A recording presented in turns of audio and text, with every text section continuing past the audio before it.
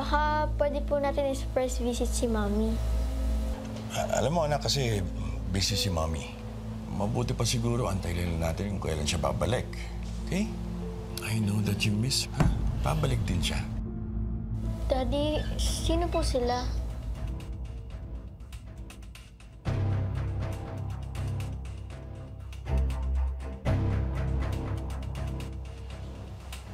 Ano na naman to, Gabo? Iniimbitahan ka namin, General Chavez, for questioning. Questioning. Nagsalita na si Agent Tinsay. I don't know what the hell you're talking about. Anong kinalaman ko doon? Huwag na nating pahirapin to, Leo. You know what I'm talking about. Sumama ka na lang sa amin ng maayos. I don't want to arrest you in front of your son. Wala kang aarestuhin. Dahil wala akong alam sa sinasabi niyo. Daddy, ano po nangyayari? Wala to, anak. Mabuti pa pumasok ka muna sa kwarto mo. Nurse, doon muna kayo sa kwarto, ha?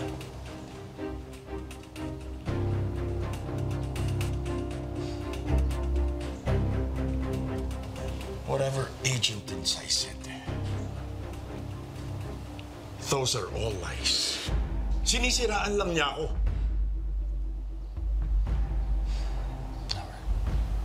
Marcelo, General Leonardo Chavez, ikaw ay naaresto namin sa salang direct bribery at sa paglabag sa Anti-Trafficking of Person Act of 2003. Hey! Leo! Leo! Man down! Call an ambulance! Leo! Leo! Think this through. Put the gun down. Put the gun down, Leo. Magkakamatayan muna tayo. General Chavez, put the gun down. Please. Sige! Putok niyo! Putok niyo! Put it down, Leo. Don't do this. Daddy! Huwag niyo po nasaktan daddy ko! Man, hold your fire.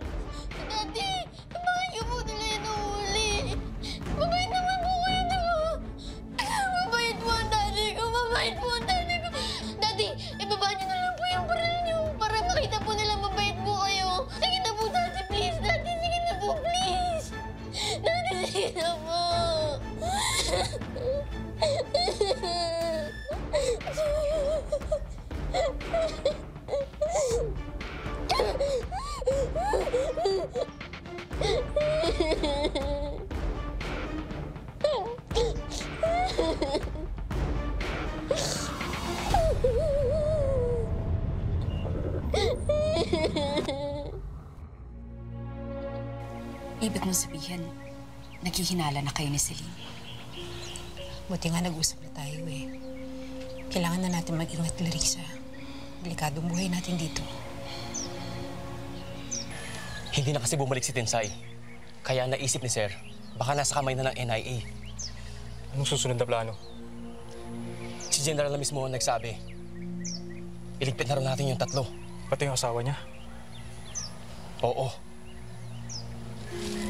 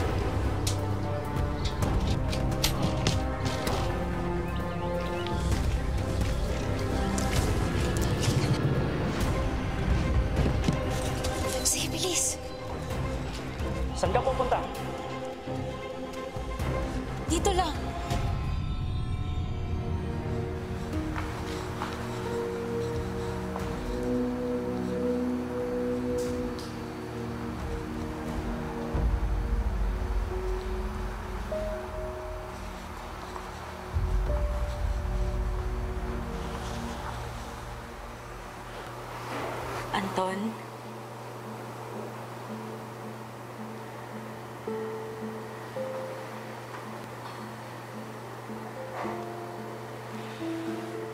Celine.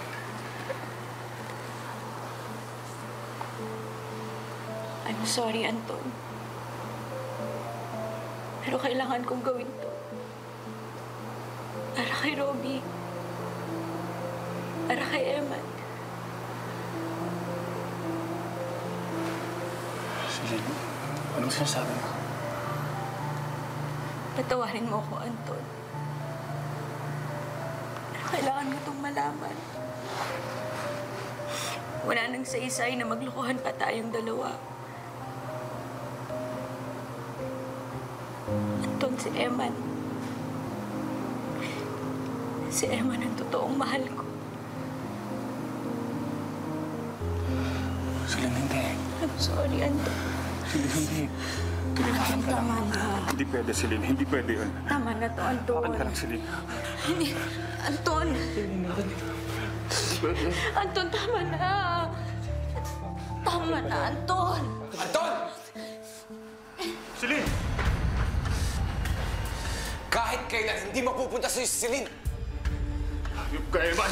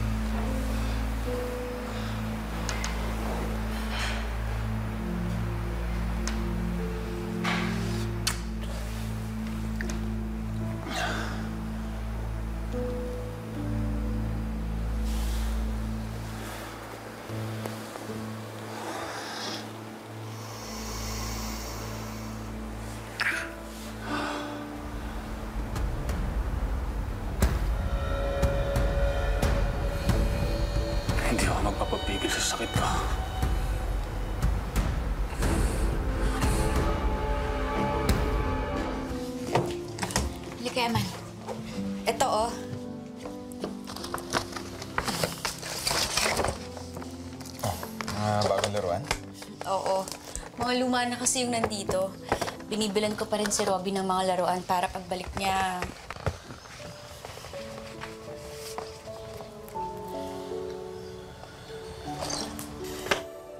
Celine, yung tiwala mo, yung pag-asa mo,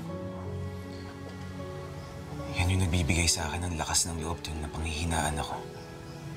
Tuwing nakakita akong ebidensya sa anak natin. Na baka wala na si Robbie.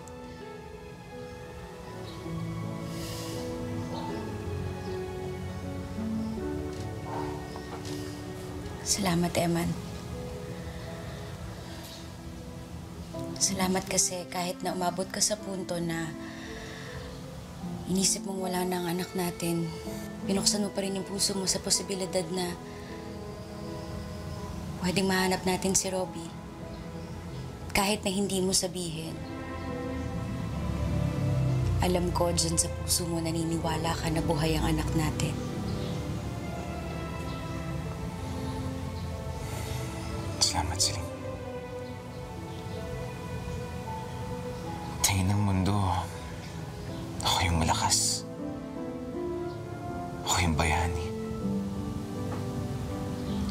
Nakikipaglaban. Pero ang di nila alam, nagagawa kong lahat ng yun dahil sa'yo ako humuhugot ng lakas. At ngayon magkasama tayo, pakiramdam ko lalo akong lumalakas. Wala na makakapagpigil sa atin sa pagganap natin kay Robbie. Mas malakas tayo dahil magkasama tayo ngayon. At nagmamahalan tayo. Mahal kita, Eman.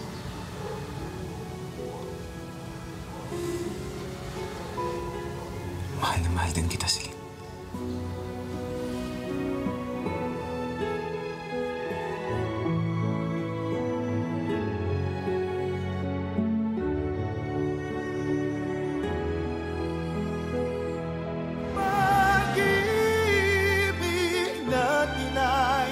walang hanggang paalam at habang magkalayo